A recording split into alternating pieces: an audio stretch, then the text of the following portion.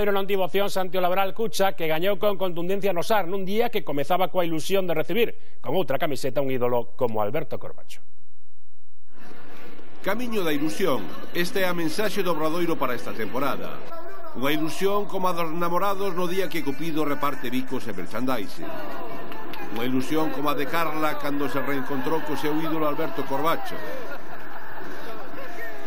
A ilusión dunha afición que lembra con agarimo e cun prolongado e sentido aplauso aos que volven a casa, aínda que sexa coa camiseta do rival. Unha bancada cosmopolita que ao mal tempo pon boa cara á espera dunha victoria do seu. Sobre a pista a realidade é ben distinta. O actual Obradoiro vive inmerso na dinámica da derrota. Unha situación que o lastra partido tras partido Basconia nestes momentos era o pior rival posible para volver á senda do triunfo. O equipo santiagués aguantou o envite durante 25 minutos.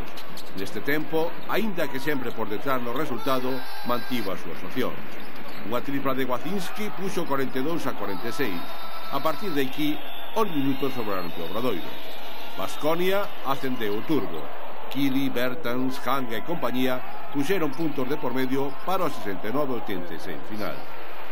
No podemos pensar en nosotros, no, no podemos permitirnos el lujo de deprimirnos.